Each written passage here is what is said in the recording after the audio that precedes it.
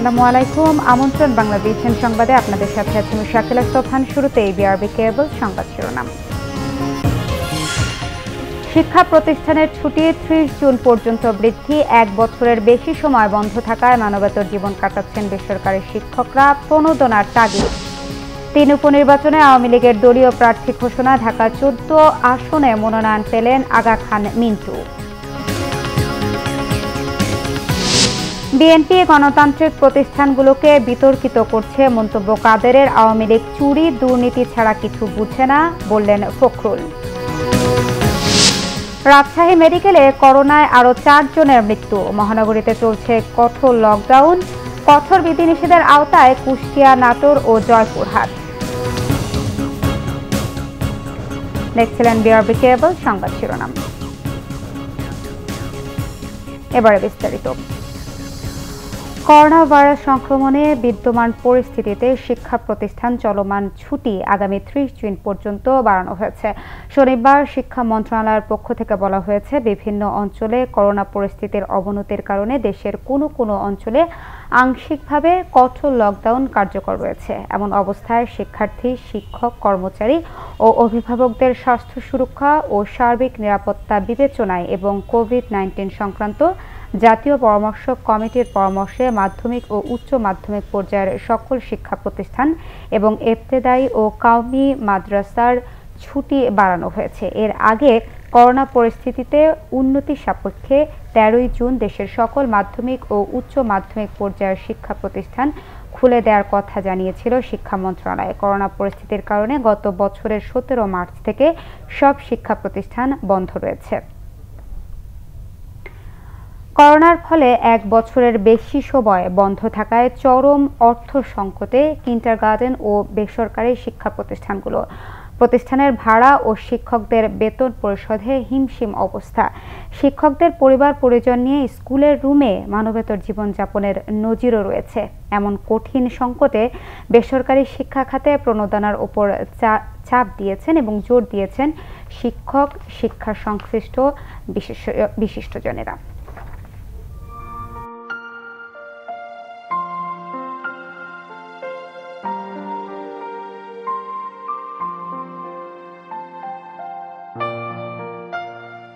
শাহনাজ আক্তার রাজধানীর মোহাম্মদপুর বেরিবাদ এলাকায় নিজের গড়া শিক্ষা প্রতিষ্ঠান টিকিয়ে রাখতে নিরন্তর চেষ্টা তার। ঋণে জর্জরিত হয়ে এক পর্যায়ে ভাড়া বাসা ছেড়ে থাকতে শুরু করছেন স্কুল ঘরেই। এক রুমে খাই এক রুমে ঘুমাই। একজন লোক আসলে লজ্জা আমি আমার রুমে নিতে পারি না। এটা ছিল একটা স্কুল এখন আমি এখানে থাকতেছি। এমন চিত্র মোহাম্মদপুরের আরও কিছু কিন্ডার গার্ডেনেই বেশিরভাগ শিক্ষার প্রতিষ্ঠানের প্রধান বা প্রতিষ্ঠাতাদের একই দশা।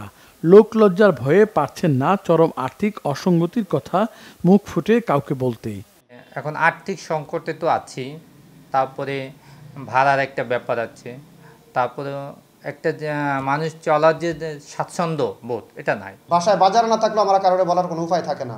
অভিভাবকদেরকে যদি কখনো আমরা বলি যে বেতনটা পেমেন্ট করেন তাদের একটা ডিক্লারেশন একটাই কথা থাকে স্কুল খোলা না স্কুল বন্ধ আপনাকে কিসের বেতন দিব? এবছর স্কুলগুলোতে শিক্ষার্থী ভর্তি খুবই কম।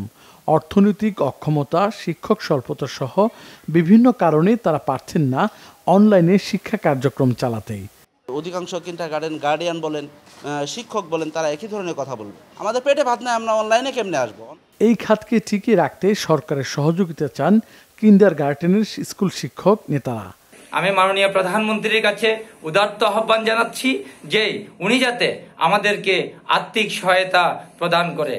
বেসরকারি শিক্ষা খাতে বিনিয়োগ বাড়াতে ও প্রণোদনার তাগিদ দিলেন সাবেক তত্ত্বাবধায়ক সরকারের উপদেষ্টা গণস্বাক্ষরতা অভিযানের প্রধান নির্বাহী রাশেদাকে চৌধুরী। শিক্ষায় যদি কোনো প্রণোদনা প্যাকেজ না আসে, শিক্ষাকে যদি আমরা যথাযথ গুরুত্ব না দিই, যথার্থ বিনিয়োগ না করি এবং সেই বিনিয়োগের যথাযথ ব্যবহার না করি, তাহলে হয়তো একটা প্রজন্ম আমরা ক্ষতির মধ্যে ফেলে দেব। এরপরও সংশ্লিষ্টদের প্রত্যাশা করোনা কেটে গেলে শিক্ষার্থীদের উপস্থিতিতে আবারও মুখর হয়ে উঠবে বেসরকারি শিক্ষা প্রতিষ্ঠানগুলো। সৈকত সাদিক, বাংলা ভিশন, ঢাকা। ঢাকা চোদ্দ আসনের উপনির্বাচনে শাহ আলী থানা আওয়ামী লীগের সভাপতি আগা খান মিন্টুকে দলের প্রার্থী হিসেবে চূড়ান্ত করা হয়েছে। গণভবনে প্রধানমন্ত্রী শেখ হাসিনার সভাপতিত্বে মনোনয়ন বোর্ডের সভায় এই সিদ্ধান্ত হয়। এছাড়া কুমিল্লা পাঁচ আসনে আবুল হাশেম এবং সিলেট তিন আসনে হাবিবুর রহমানকে উপনির্বাচনে মনোনয়ন দেয় সংসদীয় বোর্ড। এর আগে সকাল এগারোটায় বৈঠক শুরু হয়। দলের সাধারণ সম্পাদক ওবায়দুল কাদের, উপদেষ্টা পরিষদের সদস্য তোফাল আহমেদ, আমির হোসেন আমু প্রেসিডেন্ট সদস্য শেখ ফজলুল করিম সেলিম, ফারুক খান, ডক্টর আব্দুর রাজ্জাক, কাজী জাফরুল্লাহ, প্রচার সম্পাদক ডক্টর আব্দুল সোবহান গোলাপ সহ সংসদীয় বোর্ডের অন্য সদস্যরা উপস্থিত ছিলেন। নির্বাচন কমিশনের তফসিল অনুযায়ী আগামী আঠাশ জুলাই অনুষ্ঠিত হবে এই তিন আসনের উপনির্বাচন। ঢাকা চোদ্দ আসনে আসলামুল হক, কুমিল্লা পাঁচ আসনের সাবেক আইনমন্ত্রী আব্দুল মতিন খসরু এবং সিলেট তিন আসনে মাহমুদুজ্জামান চৌধুরীর মৃত্যুতে আসনগুলো শূন্য হয়। আওয়ামী লীগের সাধারণ সম্পাদক ওবায়দুল কাদের বলেছেন, যারা দেশের স্বাধীনতা ও মুক্তিযুদ্ধের চেতনায় বিশ্বাসী নয়, তারাই দেশকে ব্যর্থ রাষ্ট্রে পরিণত করতে চায়। তিনি বলেন, গণতান্ত্রিক প্রতিষ্ঠানগুলোকে শক্তিশালী করাই সরকারের লক্ষ্য। বিএনপি একের পর এক গণতান্ত্রিক প্রতিষ্ঠানগুলোকে বিতর্কিত করছে বলেও মন্তব্য করেন কাদের। ওবায়দুল কাদের তার সরকারি বাসভবনে নিয়মিত ব্রিফিংকালে এসব কথা বলেন। বিএনপিকে নির্বাচনে বিজয়ের গ্যারান্টি দিলে এবং নির্বাচন কমিশন তাদের পক্ষে রায় দিলে তাদের কাছে বিচার বিভাগ ভালো। তিনি বলেন বিএনপি নেতাদের অপরাধ ও দুর্নীতির বিচার না করলে দুর্নীতি দমন কমিশন ভালো। আওয়ামী লীগের সাধারণ সম্পাদক বলেন, ক্ষমতা ফিরে পাওয়ার মোহে বিএনপি নেতারা এখন মিথ্যাচার ও ষড়যন্ত্রের পথ বেছে নিয়েছেন। তাদের কোনো ষড়যন্ত্রই সফল হবে না বলেও মন্তব্য করেন ওবায়দুল কাদের। আমরা বিএনপিকে বলতে চাই, সরকার নয়, বিএনপি দেশকে অকার্যকর রাষ্ট্রে পরিণত করতে চায়। শেখ হাসিনার নেতৃত্বে দেশ বর্তমানে উন্নয়নশীল দেশের মর্যাদায় অভিষিক্ত। বাংলাদেশ আজ বিশ্বসভায় সম্ভাবনাময় দেশ যারা দেশের স্বাধীনতায় বিশ্বাস করে না, মুক্তিযুদ্ধের চেতনায় বিশ্বাস করে না, তারাই দেশকে অকার্যকর ও ব্যর্থ রাষ্ট্রে পরিণত করতে চায়। বিএনপির মহাসচিব মির্জা ফখরুল ইসলাম আলমগীর বলেছেন, বাংলাদেশ ফ্যাসিবাদের কবলে পড়ে স্বাধীনতার সার্বভৌমত্ব হুমকির মুখে পড়েছে। গণতন্ত্র হরণ করা হয়েছে। মুখে বলা হলেও আসলে দেশে গণতন্ত্র নেই, জবাবদিহিতা নেই। সরকার টিকা নিয়ে যে দুর্নীতি করছে তা কল্পনার বাইরে। আওয়ামী লীগ চুরি, দুর্নীতি ছাড়া কিছুই বোঝে না। দলটি দেশ থেকে সবকিছু লুট করে নিয়ে যাবে, কিছুই থাকবে না বলেও মন্তব্য করেন বিএনপি মহাসচিব। এখানে বাংলাদেশকে আবার আপনার একটা ফ্যাসিবাদের কবলে পড়ে তার যে আপনার স্বাধীনতা সর্বভূত বিপন্ন হয়ে পড়েছে। এই সরকার, একটা পাপেট সরকার, একটা পুতুল সরকার, তারা ভিন্ন দেশের বিদেশি দেশগুলো তাদের স্বার্থগুলোকে এখানে পালন করছে। দেশের স্বার্থকে তারা সামনে এগিয়ে নিয়ে যাচ্ছে না। দুর্নীতি চরম শেখরে চলে গেছে। কারও কোনো জবাবদিহি করতে হয় না, কোনো অ্যাকাউন্টেবিলিটি নাই এখানে। হাজার হাজার কোটি টাকা পাচার করলে তার জন্য কোনো জবাব দিতে হয় না। আপনি দেখুন, এই যে টিকা নিয়ে কোভিড নিয়ে তারা যে দুর্নীতি করেছে, এটা কল্পনাতীত দুর্নীতি। আওয়ামী লীগ চুরি ছাড়া, দুর্নীতি ছাড়া কিছুই বোঝা ছেলে ঘুমালো, পাড়া জুড়ালো, বর্গি এলো দেশে, এই বর্গি হচ্ছে আওয়ামী লীগ। আওয়ামী লীগ হচ্ছে এই বর্গি, এরা লুট করে নিয়ে যাবে এবং এদের আমাদের দেশে কিছু থাকবে না। বন্ধুগণ, আজকে দেশে রাজশাহী মেডিকেলের করোনা ইউনিটে আরও চারজনের মৃত্যু হয়েছে। এই হাসপাতালে আঠারো দিনে মারা গেছেন দেড় শতাধিক সংক্রমণের ভয়াবহতা রুখতে রাজশাহী মহানগরীতে চলছে সাত দিনের লকডাউন কঠোর বিধিনিষেধের আওতায় আছে কুষ্টিয়া, নাটোর ও জয়পুরহাট সহ দেশের বিভিন্ন জায়গা। কাল থেকে খুলনায় জারি করা হয়েছে কঠোর বিধিনিষেধ। রাজশাহীতে সাত দিনের লকডাউনের দ্বিতীয় দিনে নগরীর বিভিন্ন সড়ক, মোড় ও রাজশাহীর প্রবেশদ্বারগুলোতে শক্ত অবস্থানে আছে আইনশৃঙ্খলা বাহিনী। রাজশাহী মেডিকেল কলেজ হাসপাতালে একদিনে আরও চারজনের মৃত্যু হয়েছে। করোনা আক্রান্ত নতুন আঠারো জন সহ চিকিৎসা নিচ্ছে দুশো উননব্বই জন। সীমান্ত জেলা কুষ্টিয়ার পৌর এলাকায় সাত দিনের কঠোর বিধিনিষেধের প্রথম দিনে বন্ধ রয়েছে সকল ধরনের যান চলাচল। পাশাপাশি ব্যবসা প্রতিষ্ঠান, শপিং মল, দোকান, রেস্টুরেন্টও বন্ধ। তবে কাঁচা বাজার ও নিত্যপণ্যের দোকান দুপুর দুইটা পর্যন্ত খোলা থাকছে। বিধিনিষেধ বাস্তবায়নে কাজ করছে প্রশাসন। রবিবার থেকে খুলনা জেলা ও মহানগরীকে কঠোর বিধিনিষেধের আওতায় আনা হচ্ছে। বিকাল পাঁচটার পর দোকানপাট বন্ধ রাখার সিদ্ধান্ত নিয়েছে জেলা করোনা ভাইরাস প্রতিরোধ কমিটি। সাতক্ষীরায় দ্বিতীয় সপ্তাহের লকডাউনে কিছুটা কমেছে সংক্রমণ। সংক্রমণের লাগাম টানতে শহরের বিভিন্ন পয়েন্টে পুলিশি চেকপোস্ট বসিয়ে চলাচল নিয়ন্ত্রণ করা হচ্ছে। তবে স্বাস্থ্যবিধির বালাই নেই হাটবাজারগুলোতে। নাটোরে বিশেষ লকডাউনের চতুর্থ দিনও কঠোর বিধিনিষেধ জারি রয়েছে। শহরের বিভিন্ন এলাকায় অবস্থান নিয়ে যানবাহন ও মানুষ চলাচল নিয়ন্ত্রণ করছে পুলিশ। দিনাজপুরেও সংক্রমণ ঊর্ধ্বমুখী। উদ্বেগ বাড়ছে সাধারণের মধ্যে। শনাক্তকৃত রোগীরা যাতে তার ঘর থেকে বের না হতে পারে, সেই ব্যাপারে আমাদের যে স্থানীয় ছোট ছোট কমিটি আছে, তারা তদারকি করবেন। পাশাপাশি যেসব লোক অকারণে বিভিন্ন মুড়ে, মাঠে বা বাজারে ভিড় করে সেইগুলির জন্য আমাদের ক্যাম্পেইন কিছু ঘোষণা করা হয়েছে। যারা এই ধরনের স্বাস্থ্যবিধি মানবে না তাদের মোবাইল কোর্টের মাধ্যমে জরিমানা এমনকি জেলও প্রদান করতে পারে। সংক্রমণ উদ্বেগজনক হারে বেড়ে যাওয়ায় জয়পুরহাট পৌরসভা ও পাঁচবিবি পৌরসভায় চলমান বিধিনিষেধ আরও কড়াকড়ি করা হয়েছে। Bangla vision news desk. ইউরোপের দেশ সার্বিয়ার শ্রমবাজারে প্রবেশ করল বাংলাদেশ। প্রথম দিনে শনিবার সকালে নয় জন দক্ষ কর্মী গেলেন দেশটিতে।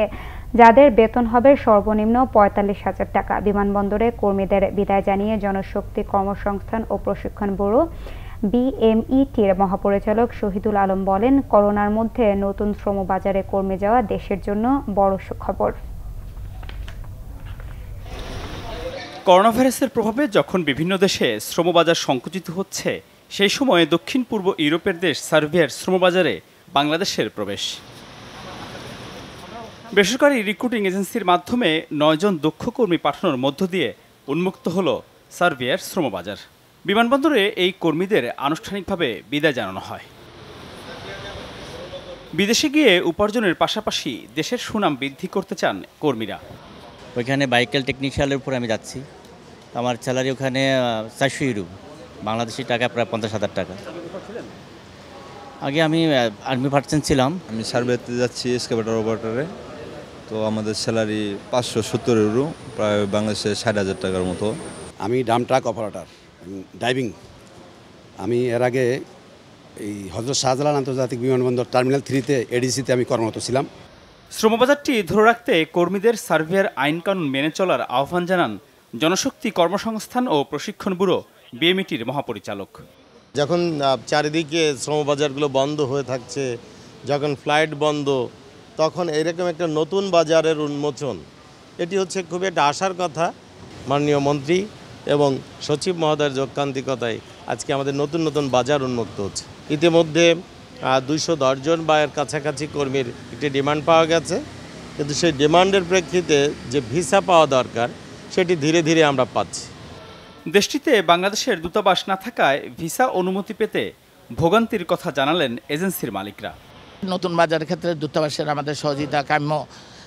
কারণ যত দ্রুত পাবো ইন্ডিয়া থেকে ওদের অনারেবল ভিসা সেখানে আমরা যদি ধীরগতিতে পাঠাই, তাহলে আমাদের বাজার নষ্ট হওয়ার সম্ভাবনা আছে। সংশ্লিষ্টরা জানিয়েছেন, ভারী যানবাহনের চালক, বাবুর্চি, সুপারভাইজার সহ বিভিন্ন কাজে অভিজ্ঞদের বেশ চাহিদা রয়েছে সার্বিয়াতে। মিরাজ হোসেন গাজী, বাংলা ভিশন, ঢাকা। ছয় হাজার সূচকের মনস্তাত্ত্বিক বাধা পেরিয়েছে ঢাকা স্টক এক্সচেঞ্জ ডিএসসি। এই সূচক আর ছয় হাজারের নিচে নামার আশঙ্কা করছেন না বাজার সংশ্লিষ্টরা। বাজেট পেশের পর বিনিয়োগকারীদের মধ্যেও শেয়ার বাজার নিয়ে সরকারের ইতিবাচক ধারণা স্পষ্ট। ফলে বাজারে সক্রিয় হয়ে উঠেছেন সাইড লাইনে থাকা বিনিয়োগকারীরাও। দু হাজার একুশ বাইশ অর্থ বছরে বাজেট প্রস্তাবনার বেশ আগ থেকেই শেয়ার বাজার ইতিবাচক ধারা ইঙ্গিত করছিল। মে মাসের শুরু থেকেই ছিল সুযোগ বৃদ্ধির প্রবণতা, আর লেনদেন এখন তিন হাজার কোটি টাকা ছোঁয়ার অপেক্ষায়। অথচ গত দশ বছরে বেশি সময় বাজার গতিতে ফেরার চেষ্টা করলেও বারবারই হোঁচট খেয়েছে। ছ হাজার কখনো আমরা টাচ করতে পারি না গত কয়েক বছরে। এবারও ছ হাজার যাবে যাবে যাবে কিনা একটা সাইকোলজিক্যাল একটা ইয়ে ছিল। ব্যারিয়ার বলো বা যাই হোক ওটা। এখন ওটা যখন ক্রস করছে ইনভেস্টারদের এক্সপেকটেশন আবার বাড়তেছে যেটা আরও যেতে পারে। কমিশন বারবারই একটা মেসেজ বাজারকে দেওয়ার চেষ্টা করছে যে বাজারে বর্তমান যে অবস্থা আছে এটি আসলে আমাদের বাজার না। বাজার আরও অনেক বড় হবে। বর্তমান যেই মার্কেটের যেই আমাদের যে মার্কেটের ডিমান্ড মার্কেটের ডেপনেস market cap total market cap সেই অনুযায়ী সিক্স থাউজেন্ড এটা এই এই এই ইন্ডেক্স কিন্তু অনেক উপরে যাবে। শুধুমাত্র এখানে রিস্ক ফ্যাক্টর যেটা যে ধরেন এইখানে যারা যারা যেই সকল কিছু জাঙ্ক শেয়ার আছে কিছু নাকি বন্ধ কোম্পানি আছে এই সকল শেয়ারগুলি বিনিয়োগ করলে ইন্ডিভিজুয়াল সেই ব্যক্তি প্রতিষ্ঠান যারাই করবেন তারা কিন্তু ঝুঁকির মধ্যে পড়বেন। আসছে অর্থ বছর শেয়ার বাজারে কালো টাকা সাদা করার সুযোগ। শেষ পর্যন্ত থাকছে কিনা তা নিশ্চিত করেননি অর্থমন্ত্রী। অনেকের ধারণা এই কারণে বাজারে কালো টাকা ঢুকছে। তবে বাজারে কালো টাকার প্রভাব মানতে নারাজ বিশ্লেষকরা। মানি ইজ কামিং সেটা অপ্রদর্শিত অর্থ থেকে হোক অন্য সোর্স থেকে হোক। না হলে তো তোমার পাঁচ হাজার পাঁচশো লেভেল থেকে এটা ছ হাজার একশো হতে পারতো না। যখনই আস্থার জায়গা তৈরি হয়েছে আপনি অন্যান্য যে বিনিয়োগকারীর সাথে যারা সাইডলাইনে ছিল বড় বিনিয়োগকারী সাইডলাইনে ছিল আবার প্রাতিষ্ঠানিক বিনিয়োগকারীরা অনেক ক্ষেত্রে সাইডলাইনে বসেছিল তারাও সক্রিয় হয়েছে। বিশ্লেষকরা মনে করেন বাজারে এখনও ভালো মৌলভিত্তিক কোম্পানির সংকট তাই বিনিয়োগকারীদের জোয়ারে গান ভাসানোর পরামর্শ তাদের। জি এম হাসান বাংলা ভীষণ ঢাকা। নোয়াখালীর কোম্পানিগঞ্জ উপজেলা আওয়ামী লীগের সাংগঠনিক সম্পাদক মিজানুর রহমান বাদলকে পিটিয়ে আহত করার অভিযোগ উঠেছে মির্জা কাদের অনুসারীদের বিরুদ্ধে। শনিবার সকালে বসুরহাট পৌর শহরের ইসলামী ব্যাংকের সামনে এ ঘটনা ঘটে। এই সময় হামলাকারীরা বাদলের ব্যক্তিগত গাড়িটিও ভাঙচুর করেন। বাদল সমর্থিতরা জানান, শনিবার সকালে মেয়র কাদের মির্জা তার ত্রিশ পঁয়ত্রিশ জন অনুসারী নিয়ে বসুরহাট বাজারে মহড়া দিচ্ছিলেন। এ সময় বাদল ও সাবেক ছাত্রনেতা হাসিব আহসান ঢাকার উদ্দেশ্যে যাচ্ছিলেন। তারা ইসলামী ব্যাংকের সামনে দাঁড়ালে কাদের মির্জার অনুসারীরা বাদল ও আলালের ওপর হামলা চালায়। এ সময় বাদলকে মারধর করলে তার কানের একটি অংশ ছিঁড়ে যায়। পরে একজন রিক্সা চালক তাকে উদ্ধার করে প্রথমে থানায় নিয়ে যায়। পরে প্রাথমিক চিকিৎসা দিয়ে উন্নত চিকিৎসার জন্য বাদলকে ঢাকায় পাঠানো হয়।